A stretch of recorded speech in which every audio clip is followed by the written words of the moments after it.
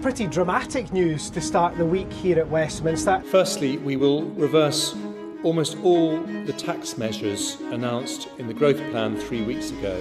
What the cockeyed hell is going on? The UK's brand new Chancellor brutally dismantling the remaining scraps of the Prime Minister's infamous mini budget. Gone, gone, gone. The Prime Minister and the government's economic vision is dead. That's kept. Gone, gone. I've never seen anything like this. Gone, gone, gone. Just weeks into her new gig, I guess under this Tory government, everybody gets to be Prime Minister for 15 minutes. the PM kept a low profile during a day of political humiliation. But where is the Prime Minister? The PM is detained on urgent business. The lady's not for turning up.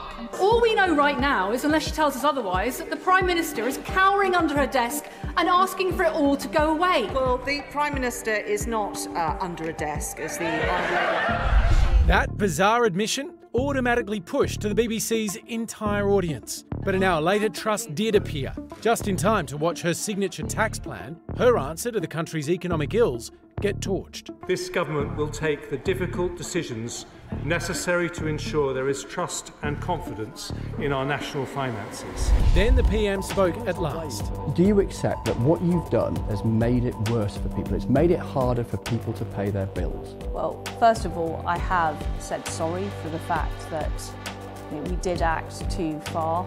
We went too far and too fast. But with as much as half the Tory party calling for the PM to go, I think her position is untenable. There has been just such a monumental foul up.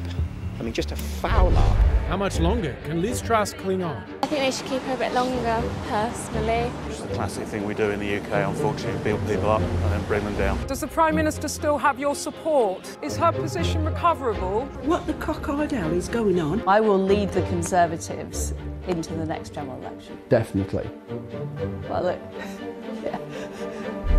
Oh! Wow. So, but who takes over if they get rid of her? Well, do you know they say that's actually her strongest Chance point at the staying. moment is that the party is so divided amongst the different rivals and there's no clear single candidate that would replace her that actually that buys her some time because Boris thinks he can come back. Jeremy Hunt the new chancellor Rishi Sunak the guy that she Yeah. stood against for the prime ministership. Penny Mordaunt who was appearing instead of her in parliament today. They all want the job and it's it's so unclear who might emerge as the favourite.